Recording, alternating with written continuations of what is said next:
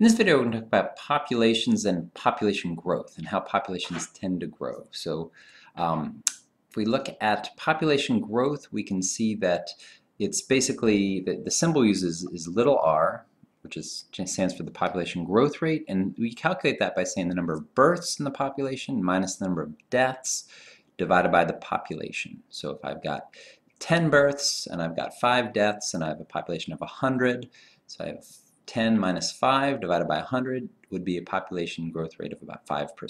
Okay.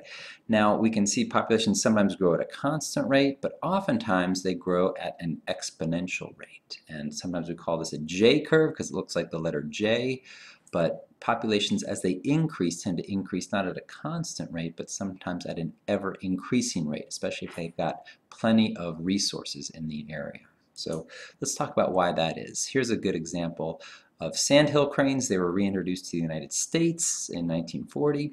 Um, and as they continued to grow, you can see the population didn't grow at a constant rate, but it grew at a sort of an ever increasing rate. Now, this didn't happen forever. They have sort of reached a carrying capacity at, at a sustainable level, but why did this population grow at an ever increasing or exponential rate?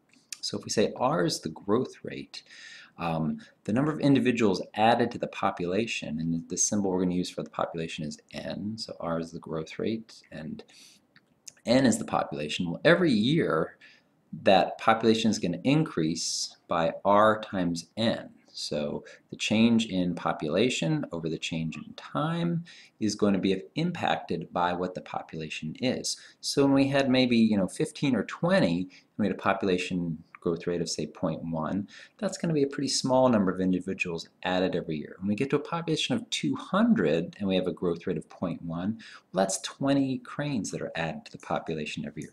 That's going to be a lot greater increase. So that's why, because the total increase of population depends on the population, we see large populations can grow very, very fast. And we have a population of, you know, 7 billion humans, even though we have a pretty low pop population growth rate globally, we're still producing a lot of new humans every year.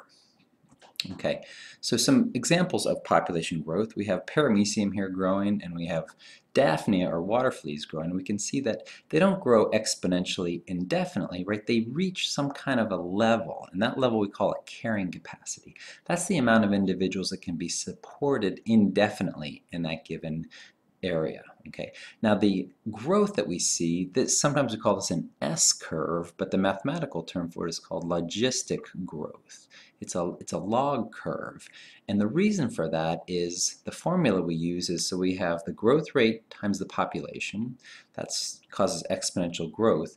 But in a area with limited resources and limiting factors, we have to multiply that by the carrying capacity minus the population divided by the carrying capacity. So when populations are very low, this number is low relative to this number, so this number is close to 1. As the population gets higher and equals the carrying capacity, this value goes to 0. So if n equals k, this is 0, which means our population levels off and becomes 0. And then we have this 0 population growth, which is what we see in these populations as they reach their carrying capacity due to limiting factors. So let's talk about some strategies that populations can use to maintain their populations. One of them we see in large, large mammals, things like uh, apes and elephants. Uh, this is what we call K-selection. These are populations that have very, relatively low birth rates, so they try to maintain relatively high numbers and keep their populations close to carrying capacity. So they're slow growing um, organisms and they need to keep the numbers fairly high. These are also species that are usually endangered because when we go in and destroy habitat or hunt them, they can't rebound. They can't reproduce fast enough to sustain their numbers.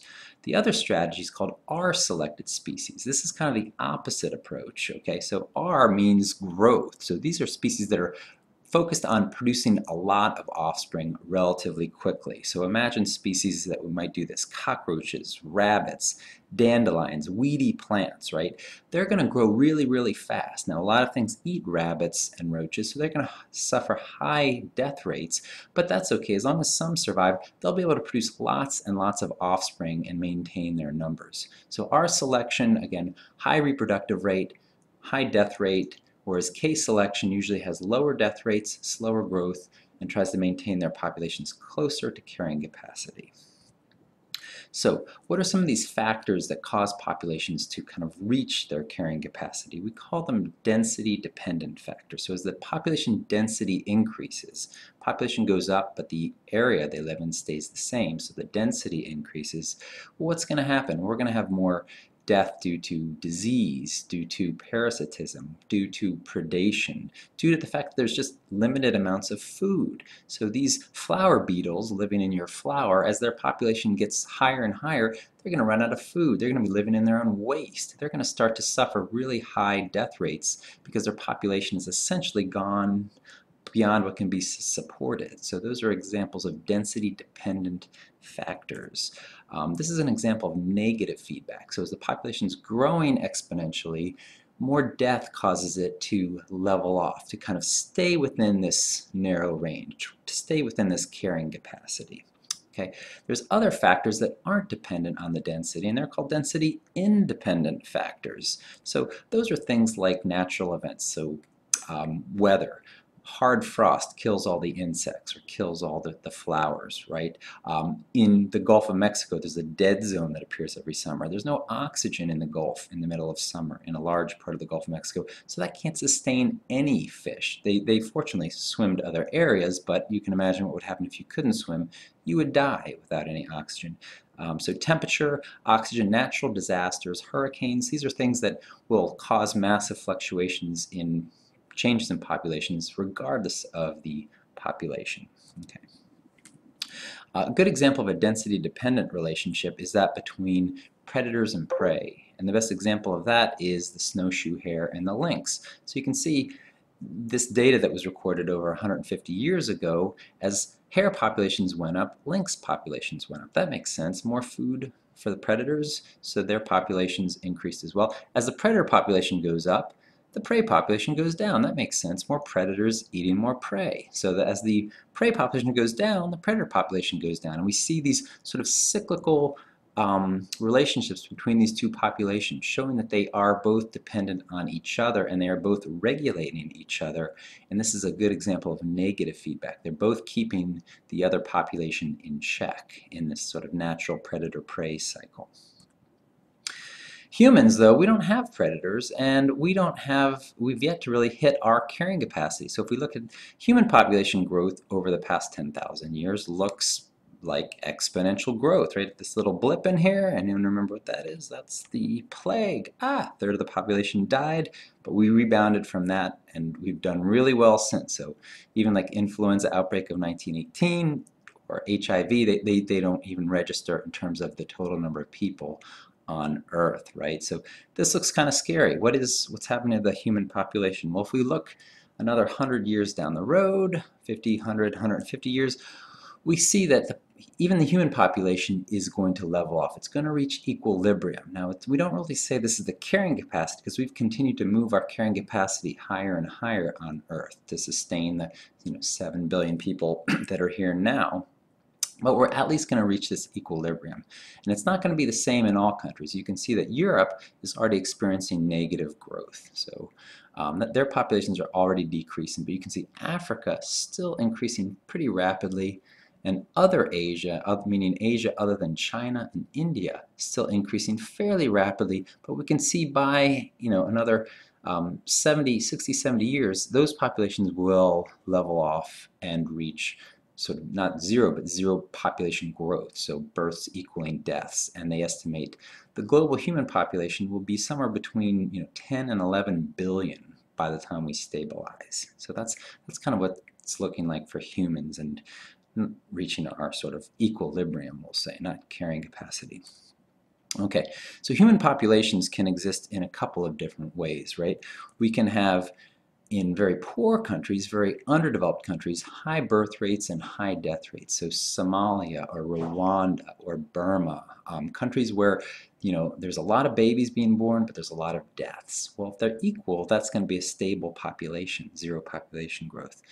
Then in other developed countries like in Europe and in the United States and Japan, we see low birth rates and low death rates. And we have, again, seen zero population growth in many of these sort of first world countries, these developed countries.